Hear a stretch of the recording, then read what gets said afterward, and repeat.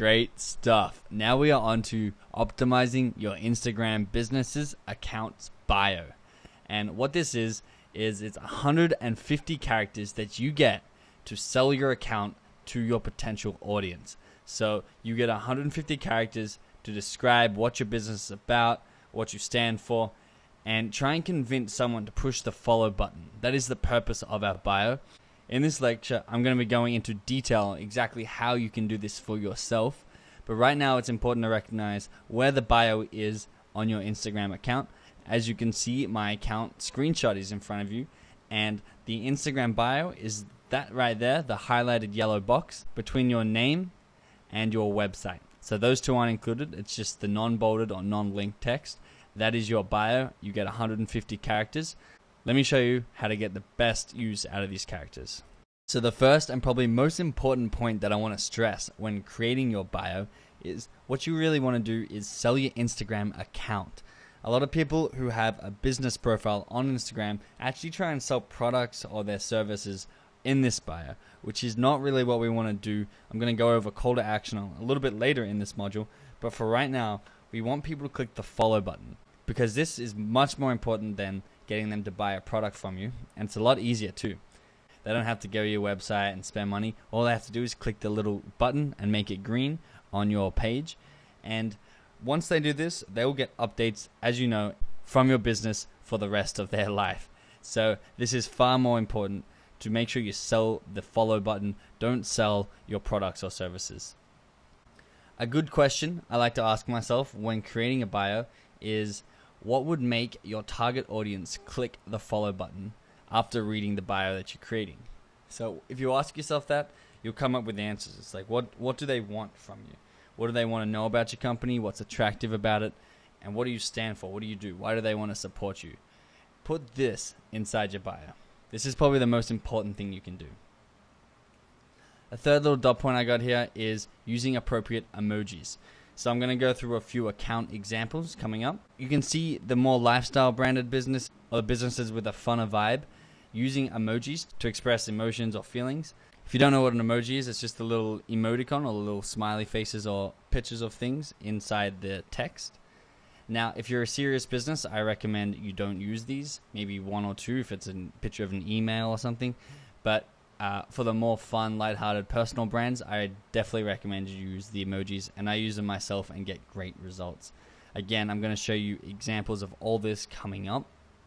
A really beneficial exercise that I do for almost every aspect of my Instagram account is I research my competitors or research people who are doing similar things to me and have a similar target audience, and I use that as inspiration for what is working and what's not. I pick and choose different aspects of what I like from each person, and I combine it and make it my own. And I then know that I have a really well optimized, proven to work bio that my competitors have tested for me. So if you're in the pizza business, I'm going to keep going back to this pizza stuff. Look at all the other pizzerias on Instagram, mainly the successful ones. So don't copy someone who doesn't have many followers, but copy the successful ones, ones with lots of followers, lots of comments, lots of interaction, or very close to your pizza store. So you make sure you're getting the similar audience and see what they're doing and use it as inspiration for your bio. So I'm going to now go ahead and show you exactly how to edit your bio. And I'm going to show you a little trick that's really helpful to making sure your bio is aesthetically pleasing on your Instagram account page. And this is making the spacing how you want it to look on your Instagram account. If you're going to do it through the app, for some reason Instagram don't pick up the exact spacing that you want, and it always looks a little strange. I'm going to demonstrate this. But the trick is to craft your bio inside the Notes app on your device with the correct spacing and then copy it over to Instagram so it maintains the right format and displays in a very aesthetically pleasing way. Let me go ahead and show you how to do this now. Great. So now I'm back on the profile page of my account. I'm going to come up here and click the gear icon again to edit the bio. I'm going to click edit profile down the account section. And we've been here a few times. This time we're editing the one next to the I where you get 150 characters to describe your business. So here I am in here. And what I'm going to do is I'm just going to show you how poorly Instagram handles spacing. So I'm just going to type in the numbers 1, 2, 3, and 4.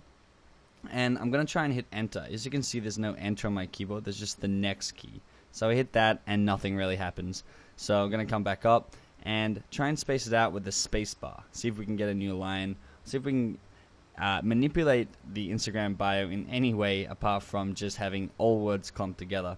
So here I am, one, two, three, four. Gonna click done, and you can see how it looks. It's simply just the numbers bunched together. Oh, gonna click done here. So the way to do this, the way to get it spaced in an appealing way, is to use the Notes app. So I'm just gonna exit Instagram now and come back to my iPad home screen, and then click the Notes in the top right corner which is where it allows you to create a note. So once again, I'm going to type in the numbers 1, 2, 3, 4, but this time I'm going to use the return key that the keyboard now lets me press.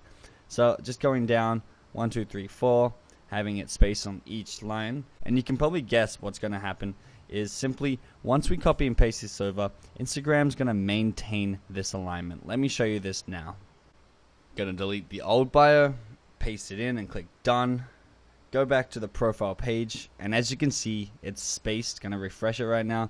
It's spaced on each line. Just how you'd want to be able to space any bio that you write just so it looks clean and professional for your business. So I already have crafted my bio in my notes as you can see in front of you now. I'm just gonna copy and paste this back into my Instagram profile and I suggest that you right now using the tips and hints that I've given you earlier in this lecture craft your Instagram bio and do it here in the notes and then simply just copy and paste it over back to your Instagram profile.